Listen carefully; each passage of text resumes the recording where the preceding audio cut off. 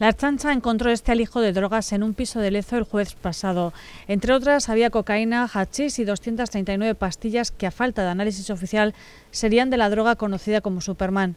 La Archancha y los servicios médicos se habían personado porque un hombre de 34 años se encontraba mal. Intentaron reanimarlo, pero al poco falleció, al parecer, por sobredosis de droga. La Archancha detuvo a su compañero de piso acusado de tráfico de drogas. Según la asociación AILACET, que analiza droga para los consumidores, esta droga tiene efectos parecidos a las sustancias anfetamínicas.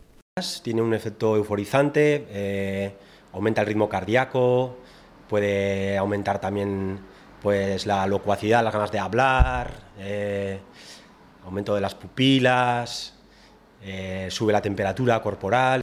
La pastilla tiene la forma de diamante del éxtasis, pero la letra S estampada en ambas caras y un color rosado anaranjado. Desde la chancha se alerta de los peligros. Se han producido varias muertes en Europa, nos llegó el aviso a través de Europol y, y, la verdad es que aquí se está consumiendo como si fuese éxtasis. En Euskadi, la primera pastilla de Superman se detectó en abril en Santurce.